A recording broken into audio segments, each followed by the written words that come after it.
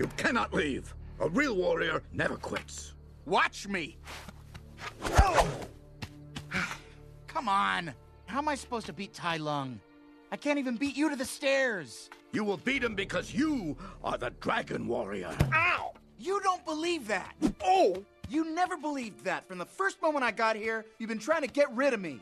Yes! Ah, I was!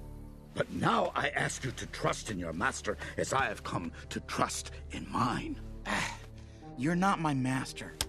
And I'm not the Dragon Warrior. Then why didn't you quit?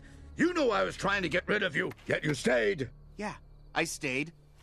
I stayed because every time you threw a brick at my head or said I smelled, it hurt. But it could never hurt more than it did every day of my life just being me. I stayed because I thought if anyone could change me, could make me not me, it was you. The greatest kung fu teacher in all of China. But I can change you. I can turn you into the Dragon Warrior, and I will.